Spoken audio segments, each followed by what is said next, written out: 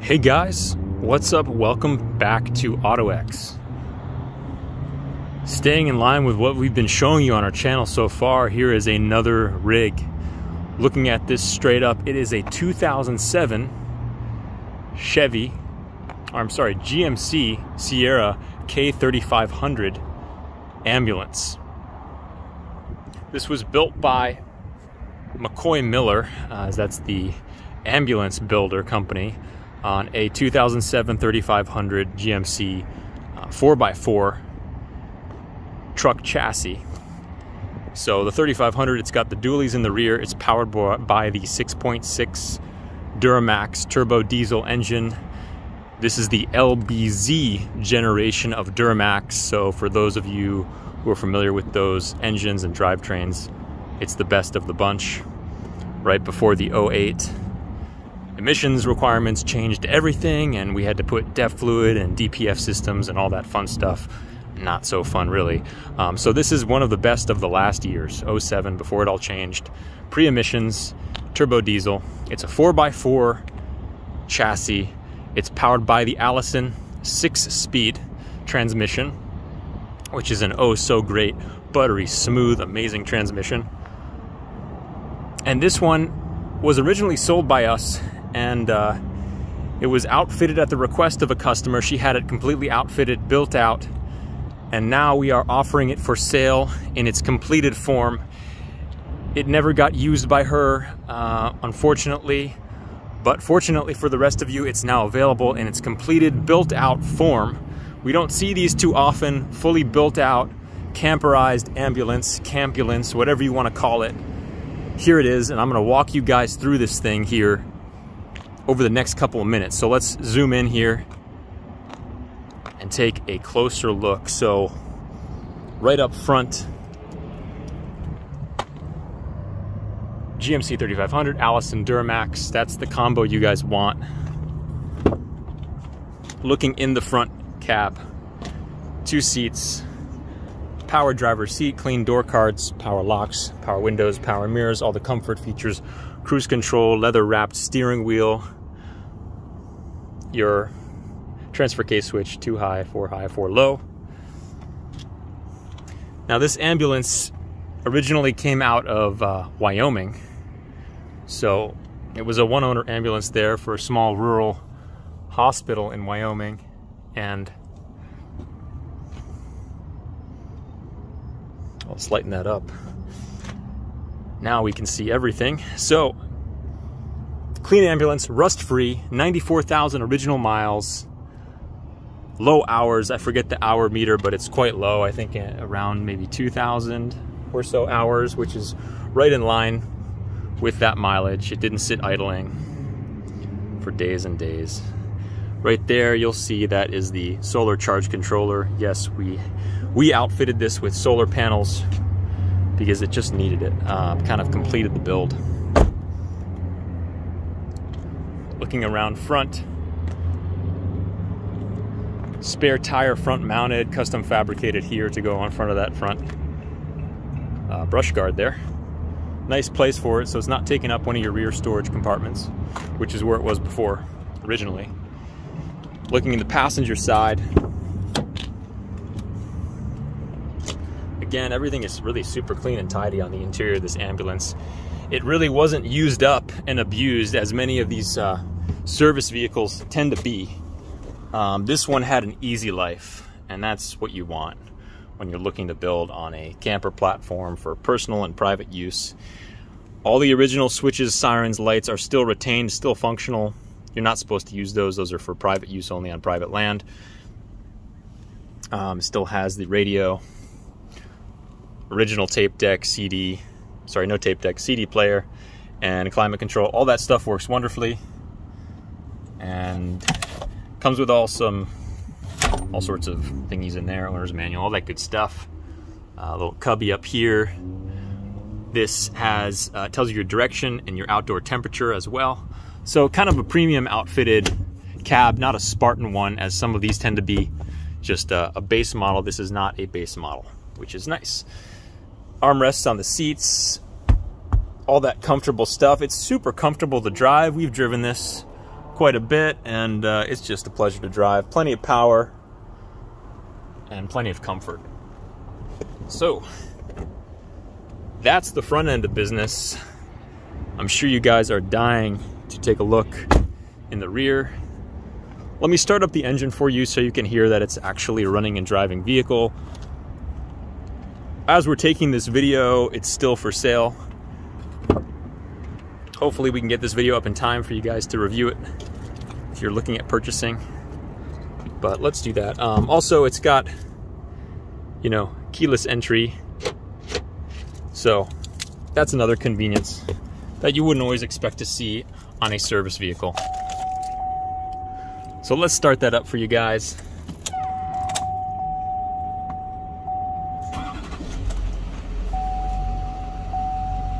There it is. It really is uh, kind of a, an uneventful a little diesel. Not little, but it's not loud, it's not obnoxious. Kind of just purrs along. Anyhow, why don't we go around the back and see what's cooking back there. All right.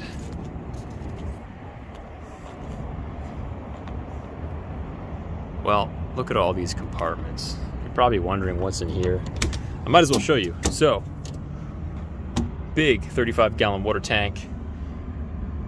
That's your diesel fuel, auxiliary diesel fuel for your diesel heater, instant hot water heater, water pump, shore power right here.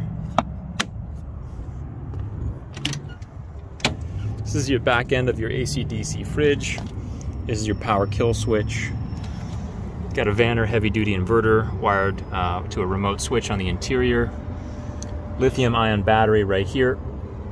And your diesel heater.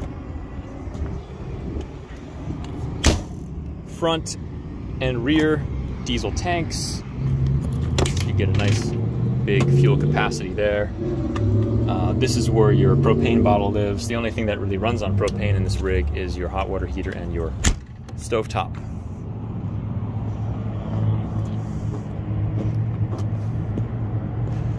All right, so more compartments. This is a very long, goes full height of the ambulance storage compartment, great for skis, snowboards, long, long and slender things. In here is another auxiliary storage compartment. There's just some sandbags in there, but you can throw whatever you'd like in there. Another note, these are all lockable, which is fantastic and just super burly and sturdy. Right here, your front passenger side storage compartments, we've got exterior access to your interior shower. This lower one here. As you can see, the shower is this shape and you guys can use that for showering. Inside and outside, rinse off the pups, the kids, whatever. All right, let's get into the meat and potatoes of this build. So right off the bat, heavy duty high traffic mat on your instep here. Stepping in right in front of me is the kitchen. To my right is your shower, which has a shower curtain here and it's kind of a step down. You would step down in there, rinse off. You could sit there if you wanted, open the door, do it inside, outside, wherever you want. So we'll close this door. Okay, here's your bench slash bed. The way this works is you've got this lower cushion. Which goes back, doing this one-handed. Right, slide this one back, like that, boom. Put this one up, like that. And then down here you've got these legs, which you just pull one, pull two, and three, and it goes down. Like that. And there is your bench. Take a seat on there. Love seat here. Little shelf ledge there. And your kitchen is right there. Right here is a isotherm. I believe it's the 85 liter fridge. larger one. Very nice unit. These things are workhorses, top of the line stuff. And couldn't be more pleased with these stainless steel variety. One vent there for your heater and another one there. Looking up, we've got a two burner propane stovetop. Under this butcher block, we have an apron sink with your stainless steel faucet.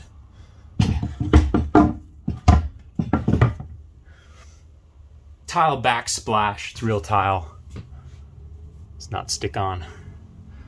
Here's some of your power functions. You have your overheads, so you can switch them on and off in different sections. This is the kitchen area.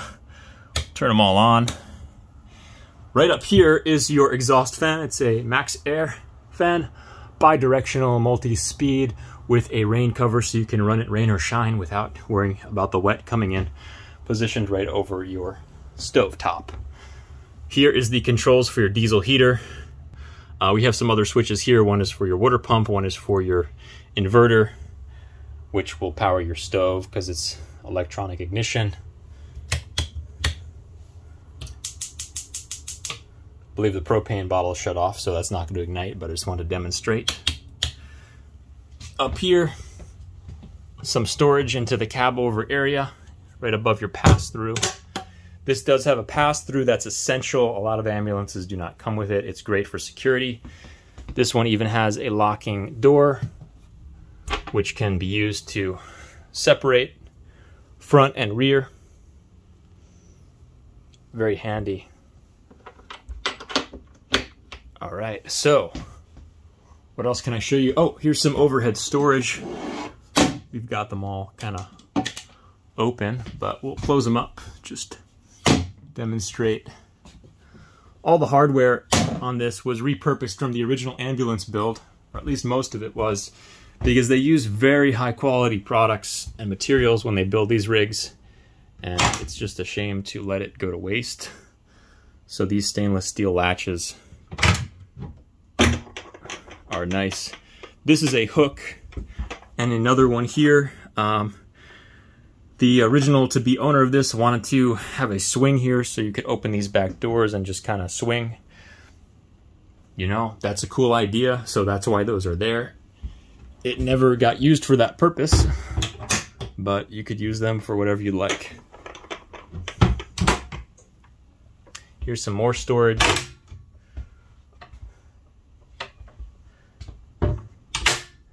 There's also storage underneath underneath this sofa.